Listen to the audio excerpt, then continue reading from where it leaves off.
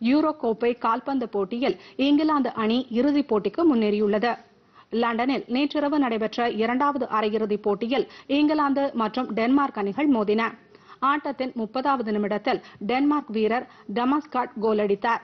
இதையடுத்து சிறப்பாக செயல்பட்ட இங்கிலாந்து அணி முப்பத்தி ஒன்பது மற்றும் நூற்றி நான்காவது நிமிடங்களில் கோல் அடித்தது. இதன் மூலம் இரண்டுக்கு ஒன்று என்ற கோல் கணக்கில் வெற்றி பெற்று இறுதிப் போட்டிக்கு முன்னேறியது. இதையடுத்து வரும் ஞாயிற்றுக்கிழமை இரவு நடைபெறும் இறுதிப் போட்டியில் இத்தாலி மற்றும் இங்கிலாந்து அணிகள் மோதுகின்றன.